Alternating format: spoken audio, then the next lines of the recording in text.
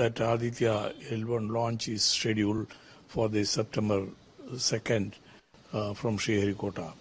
This has been a project which has been on the anvil for ISRO for a long time, and uh, it's a logical step after the Chandrayaan mission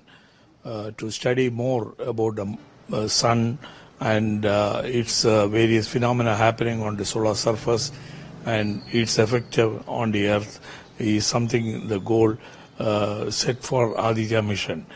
A set of instruments are going to be placed in the Lagrangian point, nearly 1.5 million uh, kilometers away from the Earth, and uh, it will be continuously observing the solar surface.